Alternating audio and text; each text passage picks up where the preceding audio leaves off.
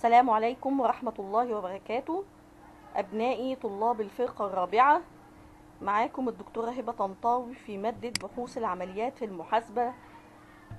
والنهاردة إن شاء الله هنتابع مع بعض أسلوب تقييم ومراجعة البرامج اللي إحنا بدأناه من محاضرتين اللي هو أسلوب بيرت.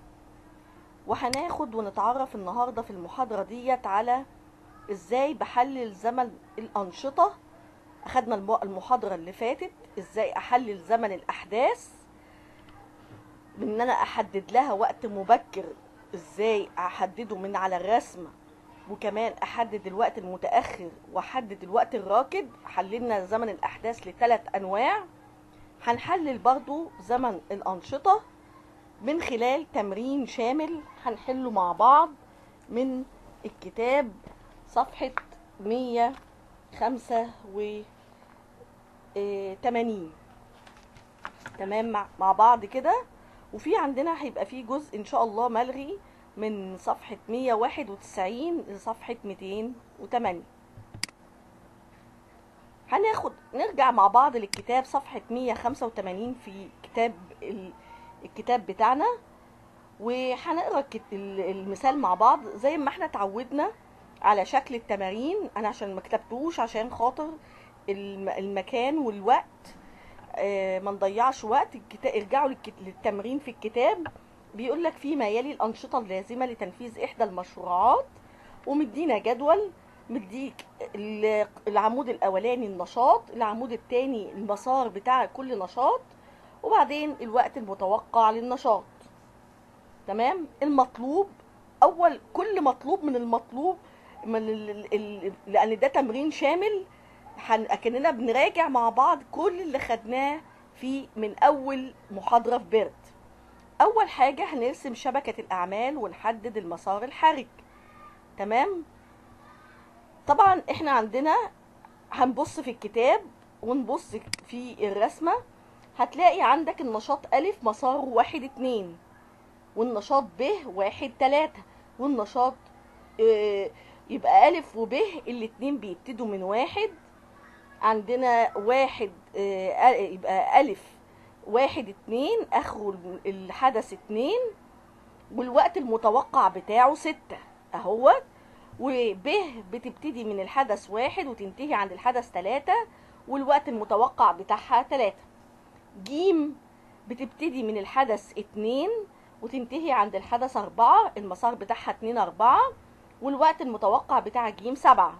طيب دال بيبتدي من عند تلاتة وينتهي عند أربعة. الح- النشاط د والوقت المتوقع بتاعه أربعة. طيب النشاط ه بيبتدي من الحدث واحد لخمسة. من واحد لخمسة أهو. ه واحد- والوقت المتوقع بتاعه تمانية. طب واو من خمسة لستة. واو من خمسة لستة من خمسة لستة واو والوقت المتوقع تسعة. طيب زين. من ستة لسبعة المسار بتاعها من ستة لسبعة والوقت المتوقع عشرة. ح من أربعة لسبعة والوقت المتوقع تمنتاشر. طيب آخر نشاط عندنا ط من تلاتة لستة والوقت المتوقع بتاعها تلاتاشر تمام؟ في غلطة في الكتاب المفروض إن هي 13 مش آه، 14 تمام؟ بكده إحنا رسمنا شبكة الأعمال. عايزين نحدد بقى المسار الحرج. قلنا عشان أحدد المسار الحرج بحدد كل المسارات اللي موجودة في الشبكة وبناء عليها أطول المسارات دي هي المسار الحرج. كده إحنا عندنا كم مسار؟ عندنا ألف جيم ح. أدي ده مسار. وعندنا كمان آه، ب دال ح أدي ده مسار كمان. وعندنا ب ط زين. أدي ده مسار تالت. وه واو زين. أدي ده مسار رابع. طبعا بنجمع يبقى يبقى طلع عندي كم مسار؟ أربع مسارات. ونجمع الوقت المتوقع لتنفيذ كل نشاط منهم بيطلع لنا الوقت المط... ال- الوقت المسار الوقت المطلوب لتنفيذ المسار. المسار الأول اللي هو ألف جيم ح ألف جيم ح اللي هو فوق خالص. لما جمعنا ستة زائد سبعة زائد تمنتاشر طلع المسار بواحد وتلاتين أسبوع. المسار التاني ب د ح طلع خمسة وعشرين أسبوع. المسار التالت ستة وعشرين أسبوع. والمسار الرابع يعتبر سبعة وعشرين أسبوع. وبالتالي بقى عندنا مين بقى المسار اللي يمثل المسار الحرج؟ يبقى أطولهم هو المسار الحرج هو المسار الأول. يبقى كده خلصنا أول مطلوب. طيب المطلوب التاني بيقول لك احسب الوقت المبكر والمتأخر والراكد لكل حدث. تمام؟ طبعا إحنا عارفين إن الوقت الراكد المتأخر ناقص المبكر. بحسب إزاي الوقت المبكر والمتأخر من قلنا من على الايه؟ من على الرسم. بنحط مربع على كل حدث من الأحداث اللي عندي في الشبكة بالشكل ده. مقسوم نصين النص اليمين للوقت المبكر والنص الشمال للوقت المتأخر.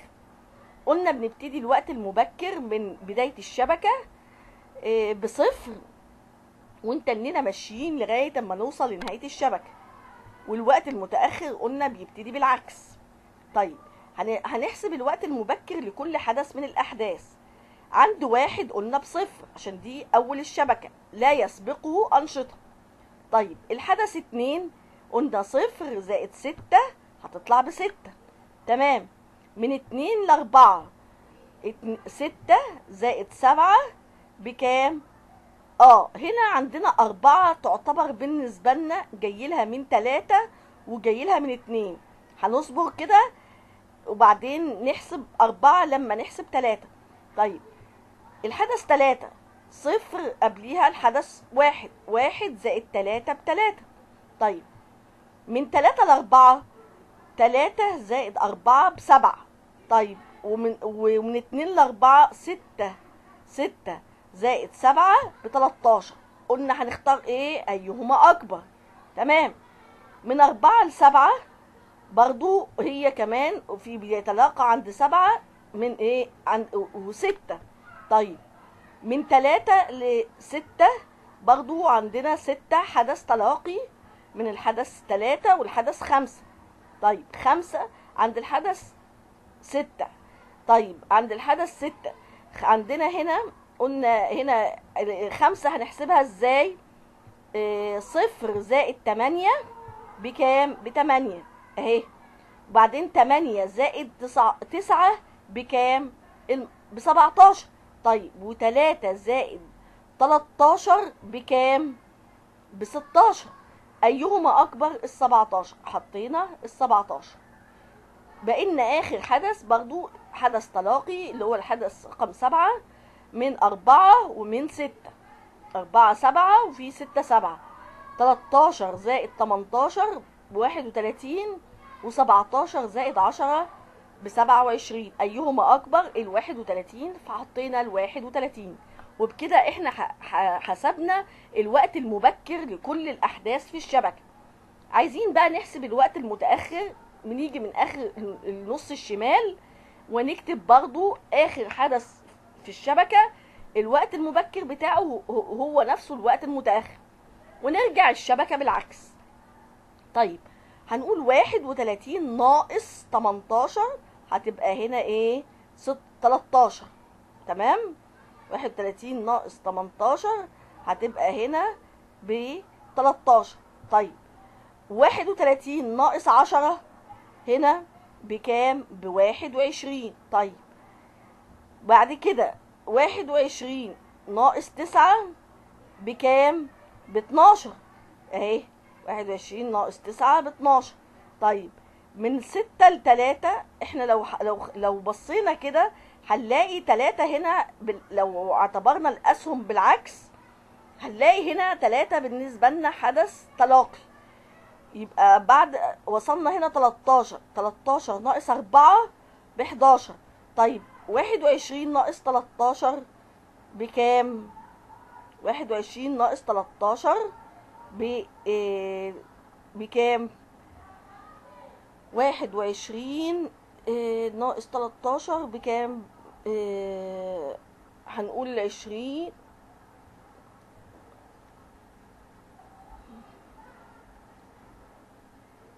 واحد وعشرين ناقص آه، في واحد وعشرين ناقص تلاتاشر حداشر ناقص تلاتة ب بتسعة.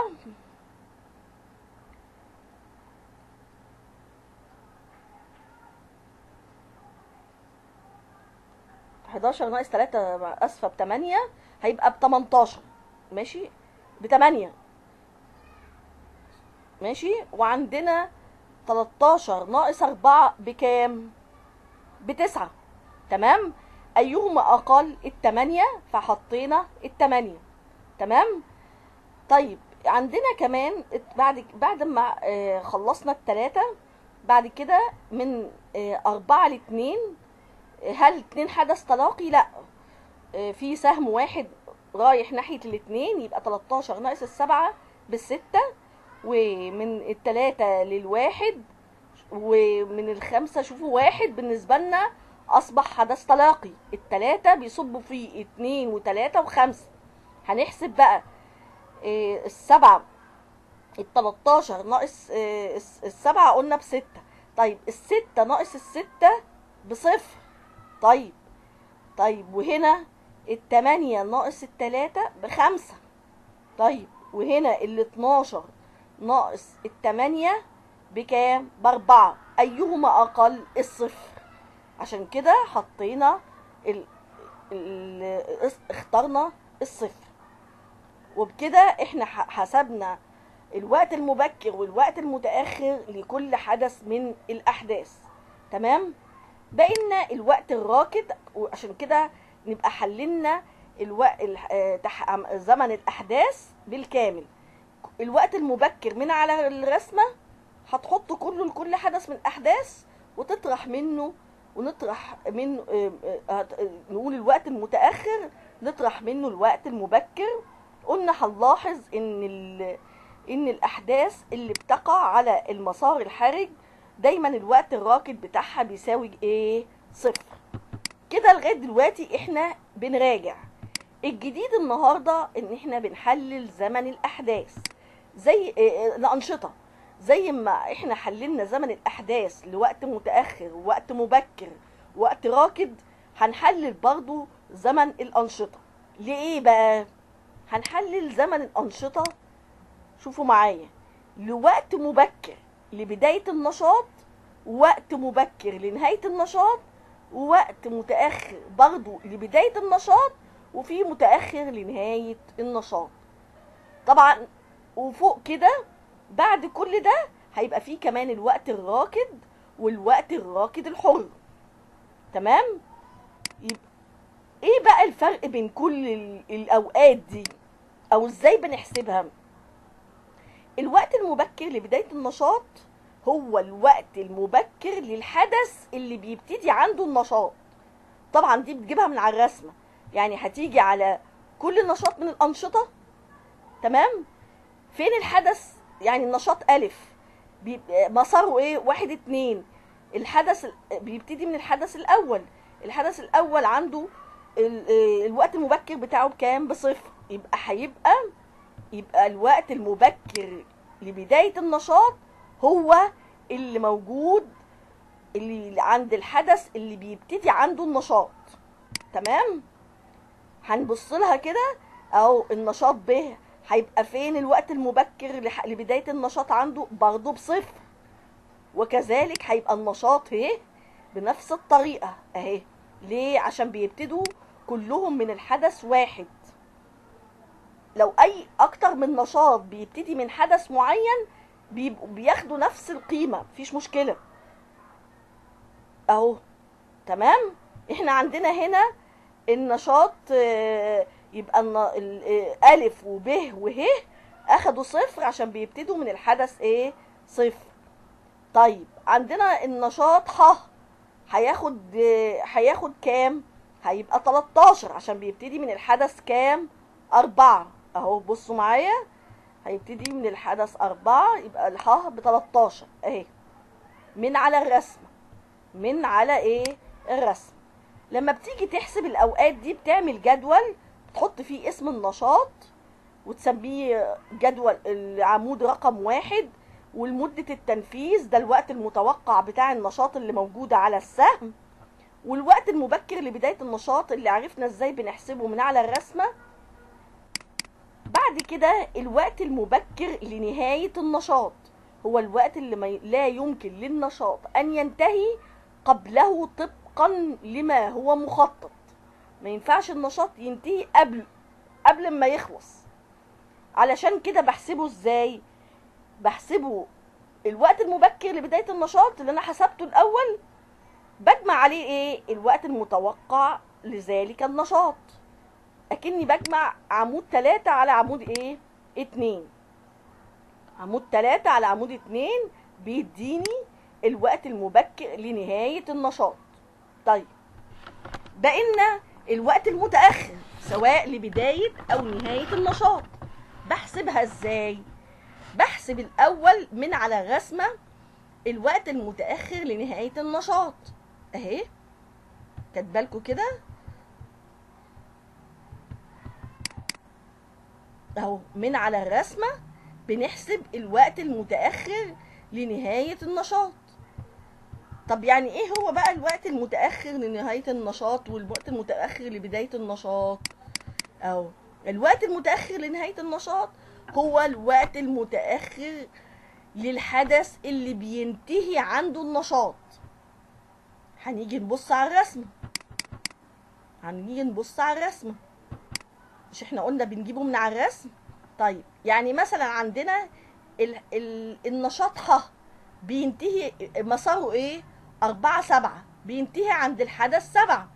طيب الحدث سبعة الوقت المتأخر بتاعه بكام؟ بواحد وتلاتين. يبقى هو ده الوقت المتأخر لنهاية النشاط. طيب الحدث ست... النشاط زين. مساره ستة سبعة. بينتهي عند الحدث سبعة برضو. يبقى الوقت المتأخر لنهاية النشاط المبكر لنهاية النشاط المتأخر سوري لنهاية النشاط هو إيه؟ واحد وتلاتين برضو. يبقى ح وزين بصوا معايا في الجدول. هتلاقوا ح وزين ح وزين واخدين نفس. واحد وتلاتين وواحد وتلاتين. ممكن أكتر من نشاط بنفس القيمة عادي. النشاط جيم. اتنين أربعة. بينتهي عند الحدث أربعة. يبقى الوقت الم- المتأخر لنهاية النشاط عند الحدث للنشاط جيم. 13 طيب والنشاط د برضو هيبقى ال... بينتهي عند الحدث أربعة يبقى برضو جيم ودال هيبقوا كام؟ 13 بصوا معايا. جيم ودال ب 13 تمام؟ طيب النشاط ه بينتهي عند الحدث خمسة. يبقى النشاط ه الوقت المتأخر لنهاية النشاط بتاعه 12 النشاط واو بينتهي عند الحدث ستة. يبقى الوقت المتأخر لنهاية النشاط بواحد وعشرين. وهكذا. النشاط ب بينتهي عند الحدث تلاتة يبقى الوقت المتأخر لنهاية النشاط بتاعه بتمانية طب النش... النشاط ألف بينتهي عند الحدث اتنين يبقى النش... الوقت المتأخر لنهاية النشاط عنده بكام؟ بستة وهكذا. وهكذا. يبقى نهاية المح... الوقت المتأخر لنهاية النشاط ده بنجيبه من على الرسم طيب الوقت المتأخر بقى لبداية النشاط قال لك هو آخر ميعاد ممكن إن ممكن يبدأ فيه النشاط دون أن يؤدي إلى تأخير نهاية المشروع بحسبه إزاي؟ عكس ما كنا بنحسب الم- المبكر لإيه؟ لنهاية النشاط بدل ما كنت بقى بجمع عليه الوقت المت- المتوقع لا هنا بقى بطرح منه الوقت المتوقع للنشاط. اللي هو اللي أنا حسبته من شوية اللي هو المتأخر للحدث اللي بينتهي عنده النشاط ناقص الوقت المتوقع للنشاط. يعني إحنا عندنا هنا لو قلنا في الجدول إن ده العمود رقم ستة هيبقى خمسة ده هيبقى العمود ستة ناقص العمود اتنين. بكده حسبنا الوقت المبكر والمتأخر لبداية ونهاية كل نشاط من الأنشطة. طيب فاضل لنا إيه كمان؟ الوقت الراكد الكلي والوقت الراكد الحر. إيه الفرق ما بينهم؟ قال لك الوقت الراكد الكلي للنشاط هو الوقت اللي أنا ممكن أأجل بداية النشاط أأجل بدء النشاط بمقداره دون أن يؤثر على إيه؟ على إتمام المشروع ككل أو أأجل نهاية النشاط دون أن يؤثر برضو على وقت إتمام المشروع. علشان كده قالك بنحسبه بطريقتين يا إما المتأخر ناقص المبكر للبداية بداية النشاط يا إما المتأخر ناقص المبكر لنهاية النشاط. تمام؟ طيب يبقى هو ما بيترتبش عليه بيترتب على الوقت الراكد الكلي إن أنا ما بيحصلش تأخير في نهاية المشروع ككل. لكن الوقت الراكد الحر عبارة إيه إيه الفرق بينه وبين الراكد الكلي؟ إن ده ممكن أأجل تنفيذ النشاط ما بيأثرش بقى على الوقت المبكر لبداية جميع الأنشطة اللاحقة. يعني هو تأثيره على نشاط واحد فقط. ما بيأثرش على باقي باقي الأنشطة اللاحقة. بحسبه إزاي الراكد الحر؟ اللي أنا حطيت له رقم 8 عبارة عن المبكر الوقت المبكر لحدث نهاية النشاط ناقص المبكر لحدث بداية النشاط ناقص الوقت المتوقع للنشاط. طبعا إحنا عارفين الراكد الكلي قلنا بنحسبه يا إما المت- المتأخر للبداية أو يا إما الم- ال-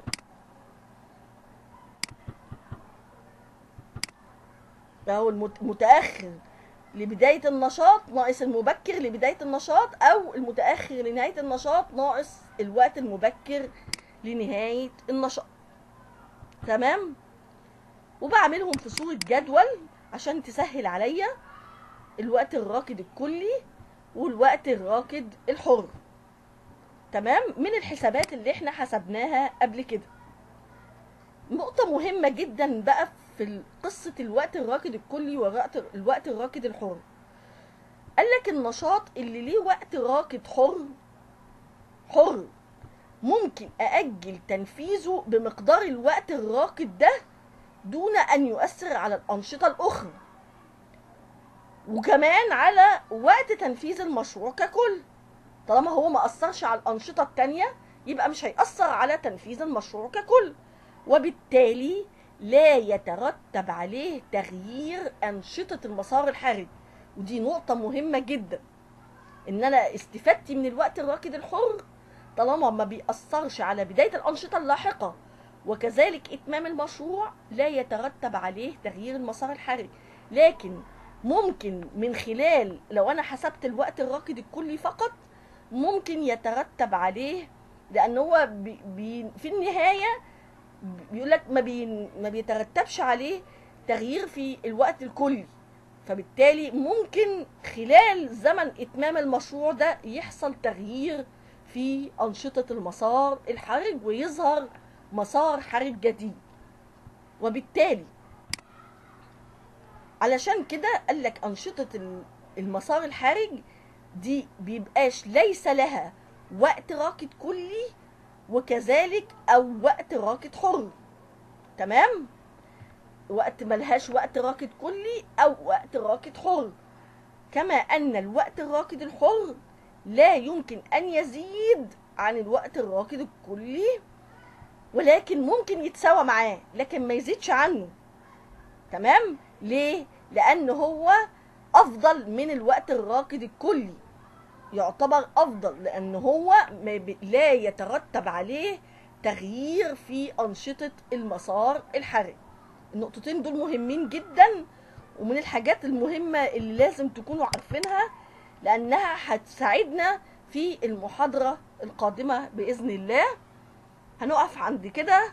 أشكركم بالتوفيق إن شاء الله. والسلام عليكم.